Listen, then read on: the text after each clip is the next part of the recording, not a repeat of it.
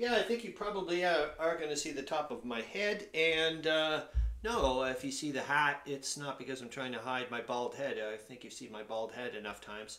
I just bought a new hat and um, I'm just kind of stretching it out and um, wanted to see how it feels. And it's quite nice. Um, I wonder if I should go on the. Uh, yeah, let's go pop on over here. Even on, I have, even though I haven't been doing the movement uh, that way much. So I finished doing the. Uh, I don't know if you can see this. This is. Uh, it was going to be for you guys, but um, I don't have. Like I said again, I don't have the tripod, so I don't even know if you're going to be able to see whatever.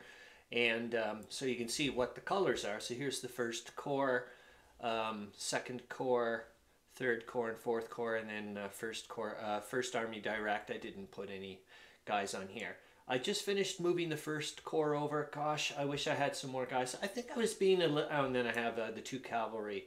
I, I left them unattached. Um, I think I'm doing okay. I, I really would love to. I mean, you know, it's obviously fantasy land. I would love to have this by the end of November, but it's just, I don't have, there's just no troops.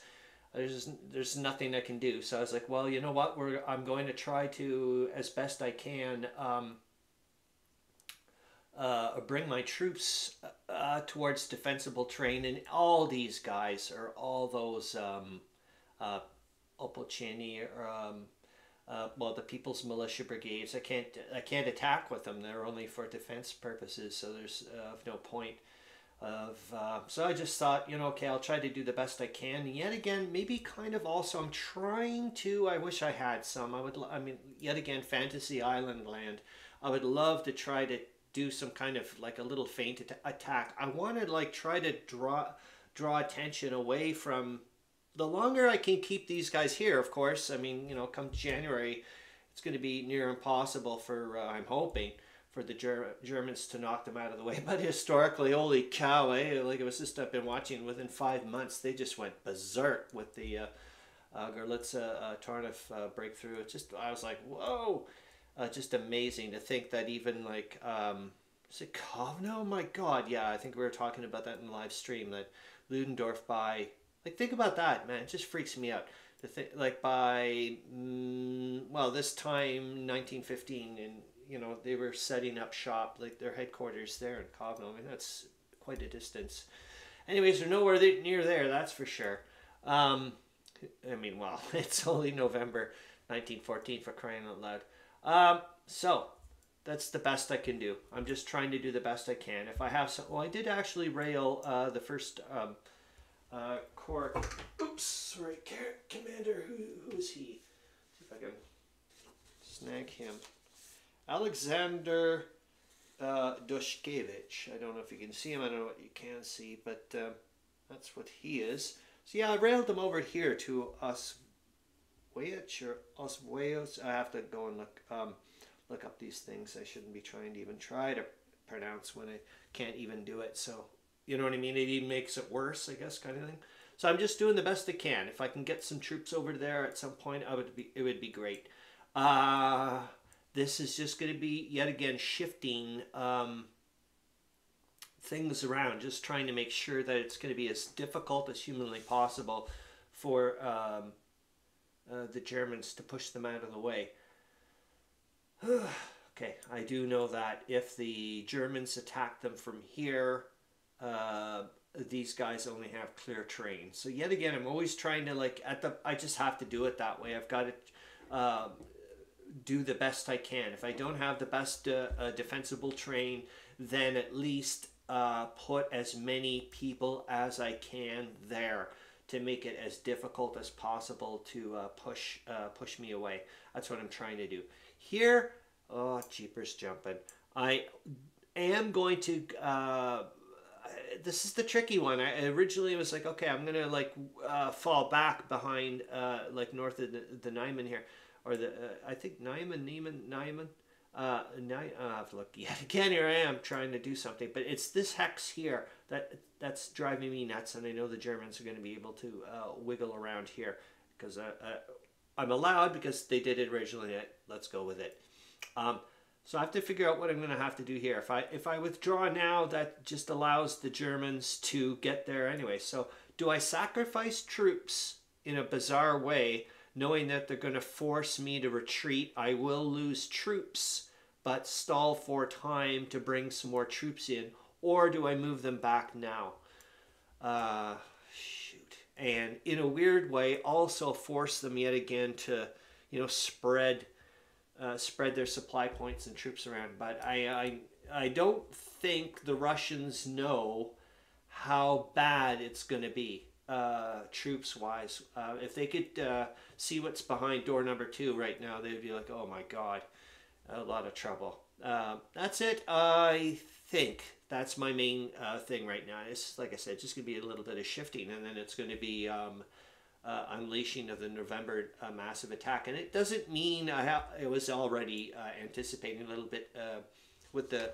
Um, excuse me, with the. Um, Oh yeah, you want to see what the fourth uh, corps commander who has to deal with all kinds of horrible. You should see what the second corps commander. It's the only picture I can find of him, Sergei Scheidemann.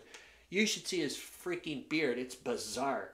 I was like, what the hell? It almost looks like it's been photoshopped. It's weird, but it, that's supposedly that's what he looked like at one point in life. Um, and the third uh, corps commander is Nikolai Epanchin. I don't know if these are the real guys, but I think it is. But um, like they were also historically they haven't been fired yet from from me. And then the fourth corps guy up there, um, Aris Khan Sultan Giri Aliyev, or I guess just Eris Aliyev. I don't like I said, I don't know what you're seeing. So there you go. Um, I'm gonna try to figure out what to do there. Um, I just, uh, like I said, as the Russians, I'm just uh, really would like to stay as long as possible in East Prussia and just go from there. Um, and my head is already off into Wonderland thinking about, um, uh, you know, I also have to remember um, about, you know, hindsight and all that stuff. They don't know about, yet again, um, I think lots of times, okay, we have to start hunkering down for trench warfare and so on and so forth. I'm already thinking about, like, what um, the central, like Germany is anticipating, and this is going to help me, I think, uh, grand strategy wise later on about trying to figure, okay, where are you going to put the resources? Because I want to role play for goodness sakes, and I think the Germans are looking the way things are going that they could probably win the war by the end of 1915. I think that's the way they're starting to structure um, their uh, long-term planning. I guess is the way I'm looking at it. And it's starting, excuse me, I think if I look at it that way, if they, like the higher ups can say, you know what, we think we can pull this off. We could actually win the war. Uh, or uh, in my version of win the war, which is uh, means is um, get uh, France to um, capitulate. Basically, they're just going to say, okay, you know, we give up, and uh, you, you you get uh, big chunks of our land, even more so than you did in the Franco-Prussian kind of thing. Um, and you know, I'm obviously going to look at what, yet again, with that Martin Gilbert um, uh, uh book, which is uh, the um, uh, what is it, the Atlas of World War One or whatever. Um, just the old one there. It's really good. the one I was doing for a bunch of live streams. Uh, that has a, a thing about uh, what the Central Powers were planning on doing, you know, having these little areas like, okay, this is a proxy country and so on and so forth and whatever, you know, under German control and oh my god. Anyways, you get the idea. Uh, so I'll use that, but I think that's a good one so far. But um, oh gosh, yeah. And then on the other side bit is also with um, uh, England, uh, Great Britain, I'm you know I still it, I'm just starting to slowly. It's it's been nagging on me as like remember France, man. They're the ones getting it. Uh, I think this it started to really hit home when I watched that BBC thing uh, a little while ago there of um, um, uh, the last three days or whatever. Uh, signing of the armistice, and um, I was just absolutely flabbergasted. It was an amazing uh, quick little, uh, you know, under an hour show. Gosh, man, I should watch that again. Uh, mind you, I'm in the middle of watching 1917 because I'm on holiday now, and it's really weird to be watching these like uh, extended chunks of movies. It's pretty neat. Um, I'm enjoying it. I've got to. Uh, uh, I'm loving the hyper. Uh, they seem to be putting a lot of detail, like of, uh, you know, clutter or, and uh, debris. I should actually say, you know, you'll find out later. Um, a lot of debris in in the movie, and I'm like, okay, that this is nice. Um, and I have to remember, it's Hollywood for crying out loud. Um, but uh, this is the bizarre thing I did find out. I just thought, what the hell, kind of uh, a strange thing. Um, Sepoy, I can't remember what the the character's name is, but uh, I just I just stopped it now, and I had to go do some fun stuff. Um, I was thinking it was just interesting. They're, they're one of the guys. He got picked up uh, by a truckload of people, and they're, they're going in his way. And um, one of them says, "Oh my God, you know who the hell would shoot cows? You know, you know, because the Germans had shot everything, killed everything." And uh, I just thought it was weird because I don't uh, connect eating beef with Sikhs. And the Sikh, the Sepoy um, uh, soldier sitting in the truck goes, Well, they're pretty smart. You know, if they had left them alive, we'd eat them. And I was like, What the hell? I just thought it was just, I mean, of all the characters you could have picked, I was like, What in the world? It just seems, uh, you know, just a bit, uh, I, well, for me, anyways, I just thought it was interesting. Um, so that's it. I'm going to try to figure out uh, to pop them over there, like I said. Uh, then I'm flipping on uh, yet again with the grand strategy thing with Br- uh, Great Britain. Um, they are, like I said, I've been very, and I'm going to continue on with that up as long I'm still trying to keep with uh, the historical plausibility, is, you know, up to a point for crying out loud. Um, I am making them hyper aggressive. I want them to be um, uh, looking at their naval stick, going, Yeah, well, we've got the biggest one uh, in the room, so screw you. Uh, they have the true swagger stick, is what I'm trying to say. Um, sorry, I'm being whatever. Um, and they're going to use it, and they're thinking super long term, and they don't want to lose what they've uh, they're used to having. They're used to having everything their way. They're, uh, the money throw, uh, flows through them. Com- like all the commerce, the trade, everything. Like they are in control of everything, and they don't want the the upstarts, these Americans over there, uh, to start thinking that they can uh, uh, getting um, uh, getting ideas is basically what I'm saying. That type of stuff, and um, yeah, so they want to you know worry about the uh, the Persian oil and so on and so forth. They don't want to get stuck in Europe. Uh, they don't like being told by the French what to do, even though the French are saying, "For Christ's sakes, man, it's our territory. It's getting nailed here." So on and so forth. Let's see how it goes. Let's see how it goes. Let's see how it goes. And then this whole, uh, you know, uh, the Albanian thing and the. okay, that's it. I'll go and stop this and. Um, Oh, and the only other thing I will say, I watched some other stuff, and it's part partially good with. Uh, I call it. Uh, I don't know some kind of equation of trying to figure out. Still, it's been several days now. I have. I keep saying to myself, why have you not looked it up? It's like one of these primary things uh, to look up is the definition of hell, and I want to look up to find out. Um, because uh, hell, I mean, let's be honest, it's been used so many times to, uh, you know, as a metaphor or a reference for World War One, the Great War. Um, and I want to find out other definitions that are away from some religious thing or whatever. And it's also going to help me with um, part. I've got part of the equation down. Uh, I've got two of them. Two of them. One of the one of them is um, to observe, to be dispassionate.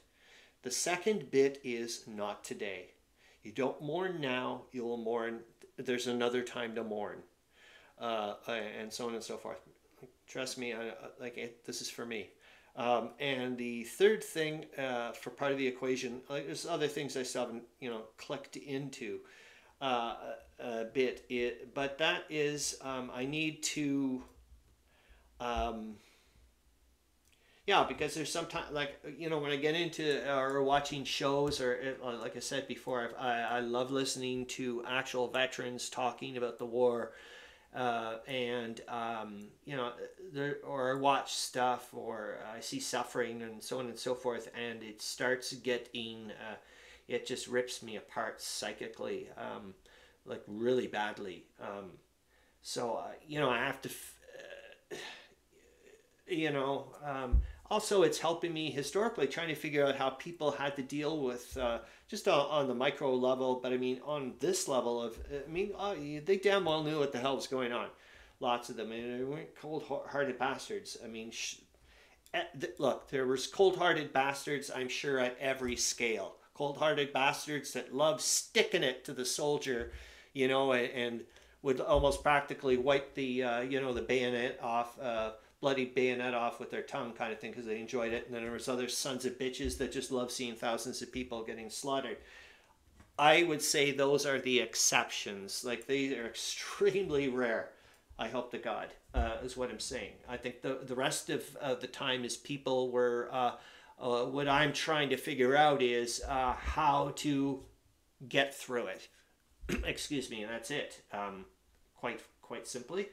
Um, yeah. Um, oh, and the other thing, I'm, uh, what I was saying about the hyper detail about that movie, 1917. Woo, woo, woo. The road sucked behind. Oh, do they ever suck? And I was like, yes, that, like that's what I mean. The, that hyper detail. I was like, I really need to see that stuff for lo- the logistics for me to get my head into it, man. Uh, I'm really super duper ultra happy about that. That was nice. Um, yep, like I said, I'll just move some. Uh, uh, thingamaj uh, bobs over there, and then um, we are getting. I don't, yeah. if you think there's going to be any Russian attacks, you're out of your flipping head. Um, there's no way that's happening. Um, we're just falling back, um, trying to draw. Hopefully, the Germans uh, like spread them out, yeah, a little bit. Even though I, I did extend a little area here, and yeah, of course I do uh, you know, there's little shiny baubles off to the side. I keep thinking, oh, there's an opportunistic whatever. So I'm like, no, no, no, no, no. Oh, oh, oh, that's what I did want to talk about. This, um, I think they're called ecotones. My God, it's been ages, man. Um, there are certain air. It's been yeah, like I said, it's been ages. Since like late '80s, uh, early '90s. I was in uni- universe, yeah, university, and um, there's certain areas. Okay, let's take for example, uh, you've got a forest, then you got a field, and in that in between area, it's you've got flora and fauna that are you find in the field and you find in the forest, but you wouldn't find, um, let's say, you know, there's a transition to go back and forth. However, there's that. Uh, in that transition area, there are flora and fauna you will not find in either of them. It's like totally cool. And in a weird way, I'm starting to uh, uh, wonder if this game, Der Weltkrieg, is kind of like that weird, like I've said often, and it's not me, uh, I probably stole it from somebody else when it, that BGG uh, thing that brought me to a blog thing about a, re- amazing review about the Grand Campaign. And starting to think of, uh, I think the person was saying, doesn't know what it wants to be. Um, and I'm, wondering sometimes because it's got that feel sometimes i get into this uh, micro looking at the little, uh, you know, I just, I'll tell you one thing, man. I would love to play Der Weltkrieg. Um, I know sounds crazy, but I would love to play this at uh, one hex per um, 10 kilometers. Like right now it's at uh, 20. I'd love to try it at one hex per um, 10 kilometers. Obviously, you know, you'd have to adjust little here's, there's, and everywhere's. But, uh, ooh, that would be interesting. I know there's a lot. I mean, upstairs I've got a few like um, uh, World Undone 1914, that type of stuff. Um, one hex equals uh, eight kilometers, I do believe. Ooh, I think so. Gosh, I hope I didn't get that screwed up. I think so. Um, so yeah, but it, it, uses a different, you know, whatever. But I like this. Know, I want to get. Uh, I forget something. Um, well, yeah, I'm doing my own thing. All right, that's it. Uh, off I go. I'll stop this and uh, what the hell? Yeah, I'm on holiday, so who cares? Um, yeah, I'll go and watch some more movie. All right, see ya. Hope you're having fun. Bye.